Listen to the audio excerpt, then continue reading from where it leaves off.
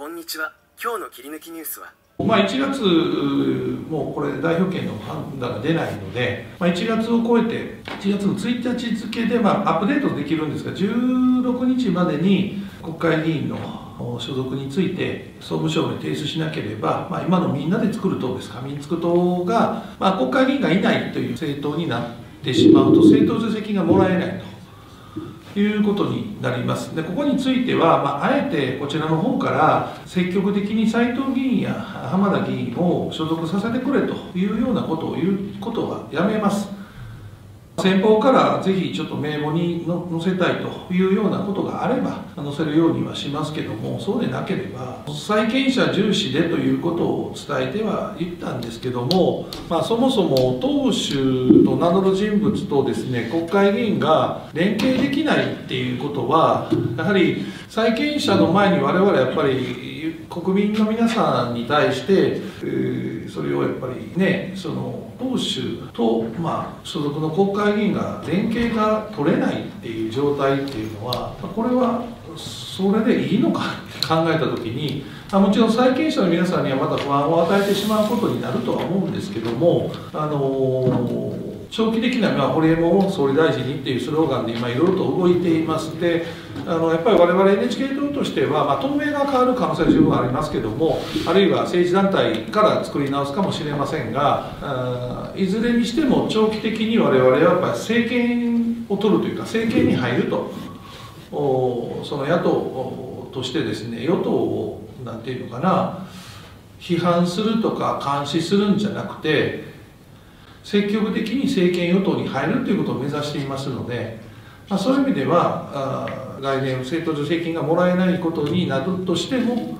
そこは致し方ないという判断をしておりますのでただまあ、えー、大津氏側がですね、えー、積極的に浜田議員や斉藤議員に何らかのコンタクトを取ってくるということであれば、まあ、そこで、まあ、僕のことが嫌いなのはまあいいにして少なくとも国会議員2人とのパイプがあの連絡が取れない状態でみんなで作る党の所属議員に浜田聡や斉藤健一郎がいることが果たしてそれが国民に対してちゃんと説明ができるのかということについてはちょっとやはりあの疑問を感じるようになりまして債権者一番というよりもやっぱり国民の皆さん国政を扱う以上はですね国会議員としてえー、ちゃんとしたところに、まあ、ちゃんとしたところっていうかねあの所属している政党と連携が取れない連絡が取れない、まあ、少なくとも連絡が取れないっていうのはちょっとそこはおかしいよねと。いう判断をしました。でと正確に言うとそのまあ大津が僕のこと嫌いなのが分かるんで僕を通せというつもりは全くないんですが、まあ、僕がいないところで2人と大津が話をするなりしてですねやらないとさすがにちょっとその政党助成金を取るがダメためだけに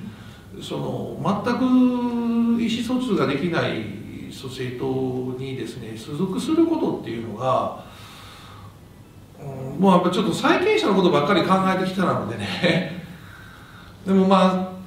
ただそれをするとどんどんどんどん党としての信用とかも結局はちょっとそういうの今やることが、まあ、大津と斎藤君なりがちゃんと連携取れるのであればね。それはいいと思うんですけどせめせめてそれを取れればね。でもそれが取れないのにお金だけをもらうためにやるっていうのはやっぱちょっと違うかなってすごく思いになったんですね。でそれで2人の話を聞いたところ、まあ、それはもう当主の判断とか、まあ、全然それでいいんじゃないですかと。ですから決めたわけじゃなくて、まあ、大津の方がそういう2人にコミュニケーションを取りに来ようとするのかどうかですね。まあ期限としたらもう10日には切ろうかなと1月の10日にはその期限を切ってあのちょっと、うん、あのいろいろと他党との連携とかもこちらも考えていこうっていうのがあるので場合によっては浜田君や斉藤君が他の国政政党の党員になるっていうこともそこは検討しています。っていうのはあの彼らが所属すると月200万円もらえるんですよね。国会議員1人月大体月200万円ぐらいの政党助成金がそこに所属者が入るので、まあ、そういう意味ではこの約1年間ぐらい浜田君も斉藤君も政党助成金の恩恵が受けられずにあの活動してきてくれてるので、まあ、それ申し訳ないなとそういう意味では。だから別に大津のその政党に属するよりもちょっと他党に所属させてもらうことによって活動費がもらえるっていうメリットもありますので、まあ、その辺はあの全然こちらとしたらあの前向きに、まあ、これまでなぜ何度も言いますけど債権者のことばかり考えてこうなんとか債権者に5年間で返そうとしてたんですけど全然その大きくできるかなっていうふうに思っているので大きくっていうかあのスポンサーがの発表できれば安心していただけると思うのでそっちの方向にも舵を切ってるということですね。ですからその1月の10日ぐらいで締め切ってで残りの6日間でちょっと他と当たってみるっていうちょっと交渉はしてみると思ってますけどそれが決裂した場合は1月16日関係なく2人の政治団体っていうのはいつでも作れますのでそんな感じで今考えてます。立花隆のこの判断は素晴らしいと思います。お金よりも信用の方が大事なので支援者は増えるはずですそれではご視聴ありがとうございましたえっと、私は、えっと、目黒区担当のあの政治家女子48党首大津彩香です。以上です。NHK を、ほんとバカ。